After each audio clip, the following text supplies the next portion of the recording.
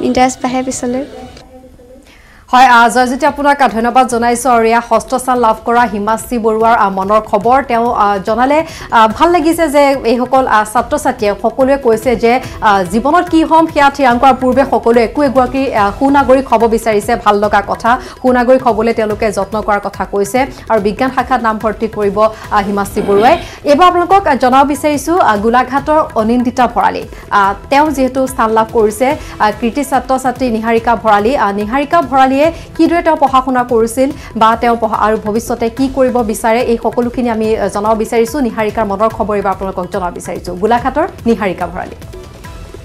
ধৰণে এক্সপেক্ট কৰা নাছিলোঁ যদিও মা দেউতাহঁতে বহুত আশা ৰাখিছিলে আৰু তেওঁলোক আৰু সকলোৰে মানে ইমান আশা কৰিছিলে কাৰণে হয়তো এনেকুৱা এটা ৰিজাল্ট কৰিব পাৰি।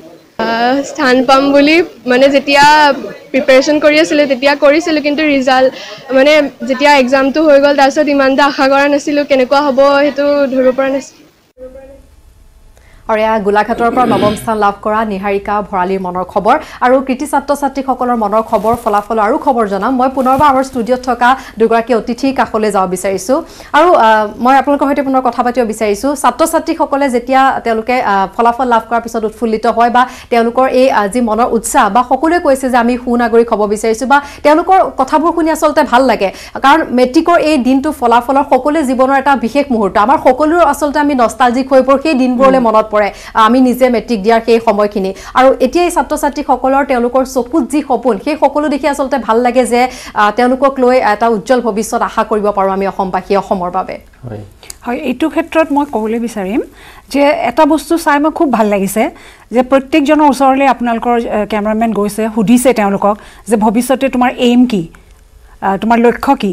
চবেই কিন্তু কনফিডেণ্ট কোনোবাই যদি কৈছে মই ইঞ্জিনিয়াৰ হ'ম কোনোবাই কৈছে মই ডক্টৰ হ'ম কোনোবাই কৈছে মই সু নাগৰিক হ'ম মানে দে আৰ কনফিডেণ্ট সেই কনফিডেঞ্চ লেভেলটো থাকিব লাগে এইমটো থাকিলেহে তেতিয়াহে তেওঁলোকে মানে সেইটোত মানে ছাকচেছফুল হ'ব পাৰে।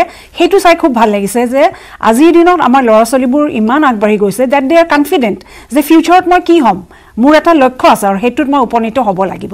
সেইটো চাই খুব ভাল লাগিছে। আমাৰ মেট্ৰিক পৰীক্ষাৰ এটা বিৰল ইতিহাস আছে। নিশ্চয়। আমাৰ মানে মেট্ৰিক শব্দটো উঠি যোৱা নাই। যদিও হাইস্কুল শেষান্ত পৰীক্ষা বুলি কোৱা হয় বা এইচ এছ এল চি বুলি কওঁ ইংৰাজীত এই মেট্ৰিক শব্দটো নুঠিবগৈ মই বোধ কৰোঁ। কিন্তু এই মেট্ৰিকৰ আজিৰ যে ফলাফলৰ দিনটোলৈ আমি বাট চালোঁ আপোনালোকে বিভিন্ন ইলেক্ট্ৰনিক চেনেলবিলাকে এই যে প্ৰত্যেকজনৰ ঘৰলৈ গৈ সাক্ষাৎ লৈছে শুভেচ্ছা জনাইছে এইটো কিন্তু বৰ ডাঙৰ কথা। আমাৰ দিনত এই ব্যৱস্থাটো নাছিল। আমাৰ মানে ৰাতিপুৱা নিউজ পেপাৰখনত ওলাব নামবিলাক ওলাব সেই লৈয়ে আমি উৎফুল্লিত যিমানে পালে পালে। এজন ছাত্ৰই মাজতে কৈছে যে তেওঁ বায়েকো এনেদৰে মেট্ৰিকত স্থান লাভ কৰিছিল। তেতিয়া তেওঁ পেপাৰত নাম ওলাইছিল আৰু মিডিয়া গৈছিল দুই তিনি বছৰ আগৰ কথা বায়েকৰ মনৰ কথা সুধিছিল। তেওঁ কৈছে যে মই তেতিয়াই ভাবিছিলো তিনিচুকীয়া এজন ছাত্ৰ যে এটা দিন আহিব ময়ো এনেদৰে কেমেৰাৰ সন্মুখত আহিম ময়ো কম টিভিত যে মই স্থান লাভ কৰিছো। চেনেলৰ ভূমিকা মানিব লাগিব। মই ভাবিছো আজি মানে নেক্সট ইয়াৰ আকৌ চাৰে তিনি লাখ চাৰি লাখ ল'ৰা ছোৱালীয়ে পৰীক্ষা দিব। তেওঁলোকে আজিৰ পৰা কিন্তু প্ৰস্তুতি আৰম্ভ কৰিলে। এই প্ৰভাৱটো বৰ ভাল হৈছে।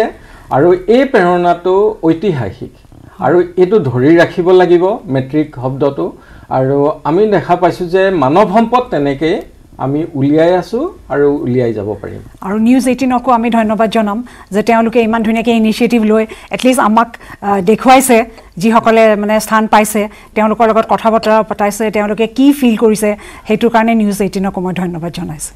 নিশ্চয় আৰু ছাত্ৰ ছাত্ৰীসকলৰ মনৰ খবৰ আমি জনাই যাম। তাৰ পূৰ্বে যিহেতু এইবাৰ ফলাফলৰ ওপৰত আমি কথা পাতি আছোঁ বহুকেইটা ভাল লগা দিশৰ ওপৰত আমি কথা পাতিছোঁ পৰ্যালোচনা কৰি আছিলোঁ। আৰু এইসকলৰ মনৰ খবৰ লোৱাৰ পূৰ্বে এটা প্ৰসংগ ওলাইছিলে যে ইংৰাজী আৰু অসমীয়া মাধ্যমৰ কথাটো যিটো এবাৰ ভাল লগা। মই পুনৰ সেইটো প্ৰসংগলৈ আহিছোঁ। অসমীয়া মাধ্যমত কোনখিনি ল'ৰা ছোৱালী পঢ়ে এইটো এটা ডাঙৰ প্ৰশ্ন।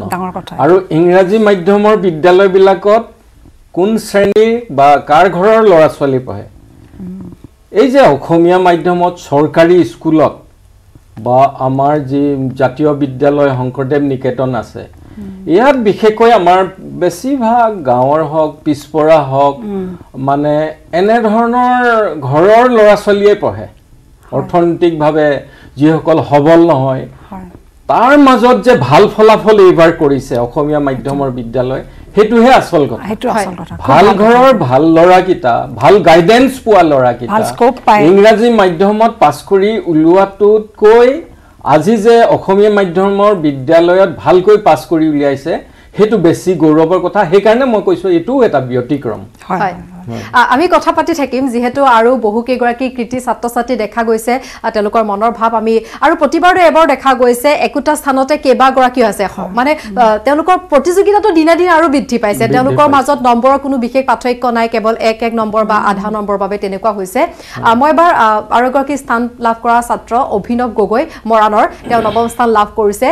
অভিনৱ গগৈয়ে কিদৰে পঢ়া শুনা কৰিছিল বা অভিনৱৰ সফলতাৰ মূল মন্ত্ৰ সকলোখিনি আমাৰ দৰ্শকক জনাবৰ চেষ্টা কৰিম। আৰু এই এইখিনি আমাক জনাব আমাৰ সাংবাদিক ঋষেশ্বৰ বৰুৱাই।